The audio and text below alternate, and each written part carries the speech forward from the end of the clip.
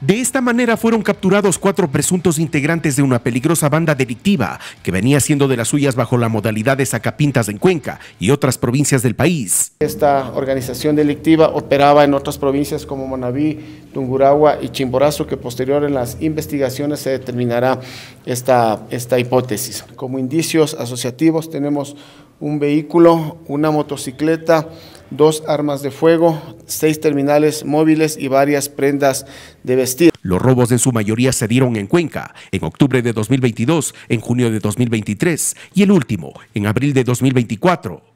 En estos tres asaltos, la banda se llevó cerca de 35 mil dólares. En el robo cometido en el 2022 existe una huella dactilar que al ser periciada dio, con la identidad de una de estas personas que ya se encuentra en calidad de, de detenida. Según la policía, no se descarta que existan más personas implicadas. Esta organización cumple roles y funciones. Entonces existen personas que están al interior del banco, que son las personas que se encargan de perfilar a las víctimas, que sacan sumas de dinero.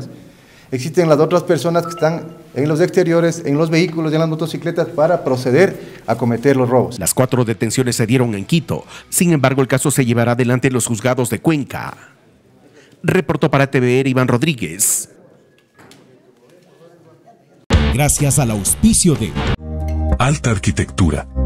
Estudio de Arquitectura y Diseño. Información y asesoría al 0997 94 62.